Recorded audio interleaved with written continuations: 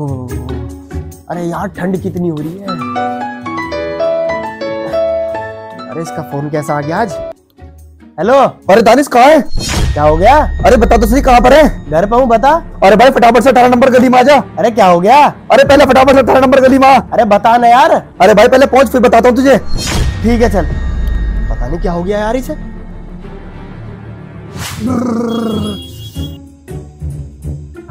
अट्ठारह गली नंबर में तो पहुँच गया इसको फ़ोन करता हूँ।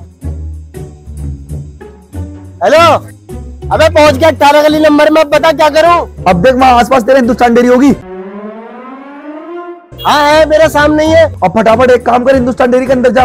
अबे भाई अब पहले बात तो बता दे बात क्या है? अरे भाई साहब मेरे पास बताने का बिल्कुल भी टाइम नहीं यार तू एक काम कर मेरी बात ध्यान से सुन। ओ ओ ओ ओ। अबे क्या हो गया तुझे? अरे कुछ नहीं यार तू एक काम कर अंदर जा फटाफट से। और वहाँ से जाके दो नमकीन के पैकेट ले ले दो बिस्कुट के पैकेट ले ले और पाँच समोसे लेके फटाफट से गली नंबर बीस में आ जा। अबे यार तू भी। फटाफट कर यार जल्दी से मेरे पास टाइम नहीं है। चल ठीक है लेता हूँ।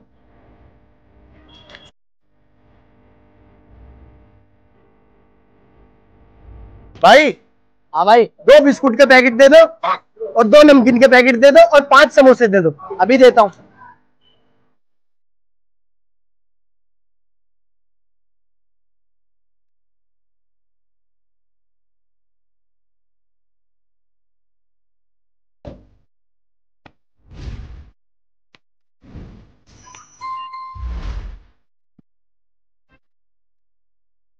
ले भाई एक सौ दस रुपए दे दे।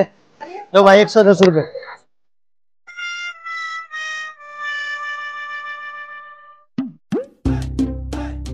अरे यार पता नहीं क्या हो गया उसको। क्यों कह रहा था वो कि मेरे पास बहुत कम टाइम है? पूछता हूँ यार उसी से जल्दी सामान लेके चलता हूँ उसके पास। बीस नंबर तो यही है। फ़ोन करता हूँ।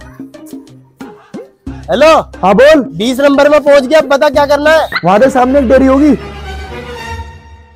हाँ है कि यही शाही डेयरी हाँ अब एक काम कर वहाँ से दो दूध की थैली ले ले।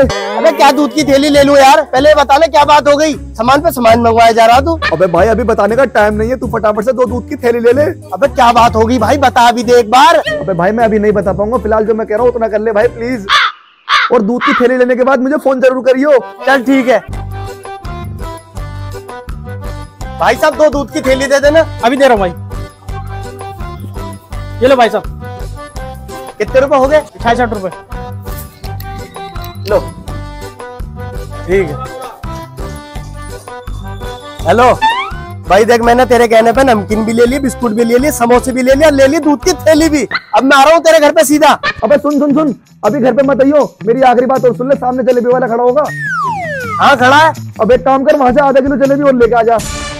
अबे ओ भाई मैं नहीं ले रहा तेरा नौकर हूँ क्या? अबे भाई नौकर की बात नहीं मेरी बात को समझ ये आखिरी सामान और लेकर के मेरे घर को आ जा।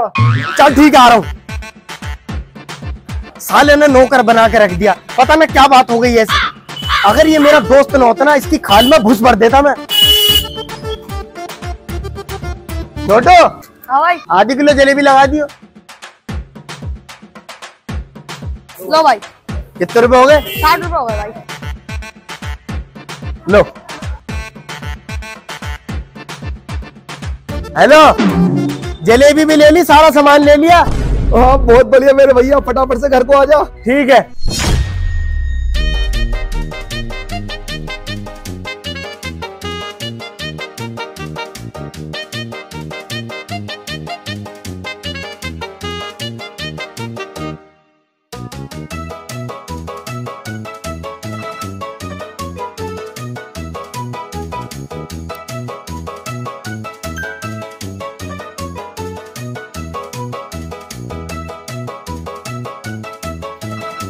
हाँ भाई ले आ गया मैं तेरा सामान लेके।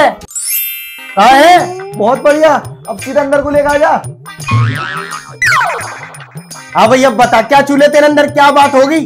एक बार इधर को देख ले। ये कौन है? ये मेहमान है मेरे। मेहमान? अबे तो मैं क्या करूँ? बता रहा हूँ, बता रहा हूँ। असल में क्या, देख, ठंड हो रही है बहुत। और मुझे लाना था नाश्ते का सामान। तो मुझसे रजाई में से निकला जा रहा ना, इसलिए मैंने तुझे फ़ोन करके नाश्ते का सामान मंगा लिया। अबे ये क्या तरीका भाई तेरा? ये ठंड से बचने का तरीका। अबे तो ठंड तुझे ही तुझे लगा हमें ना लगती है क्या ठंड। यार मुझे तो अपनी पता है ना तेरी क्या पता मुझे? कितना बड़ा वाला। ला नाश्ते के पैसे दे जल्दी से। भाई या तो नाश्ता कर ले चला जा। साले तुझे मेहमानों के सामने ही जलील करूँगा। नाश्ता नहीं कर रहा मुझे पैसे ही चाहिए मुझे। अबे कौन से पैसे भाई? सुबह दे करना गया तुझे पाँच सौ रुपए नाश्ते के। बल्कि तू सौ रुपए दे मुझे जो बचे हैं। वो साला मुझे उल्टा जलील कर रहा है इनके सामने। अबे भाई हो पहले चला जाओ ना और जलील कर दूँगा ध्यान रखियो। ठीक है। लो भाई नाश्ता आपका। जाना अब देख लूँगा तुझे साले। हाँ ठीक है ठीक है जा।